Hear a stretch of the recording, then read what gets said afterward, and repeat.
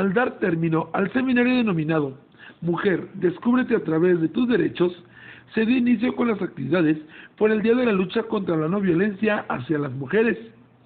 Del 26 de noviembre al 10 de diciembre, el DIF municipal, a través de la instancia de la mujer que dirige la licenciada Sandra Méndez, llevará a cabo talleres, pláticas y conferencias, así como diversas dinámicas en varios puntos de la ciudad, donde el tema es la no violencia hacia las mujeres.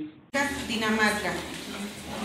El Día Internacional contra la Violencia hacia la Mujer fue declarado, fue declarado así durante el primer encuentro feminista de Latinoamérica y el Caribe celebrado en Bogotá, Colombia, en julio de 1981.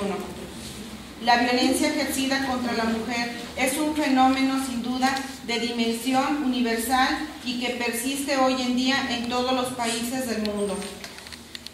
Hoy nos unimos también a la campaña de la ONU Únete para poner fin a la violencia contra las mujeres, que proclamó el 25 de cada mes Día Naranja, para que no solo sea un día de reflexión al año, sino todos los meses.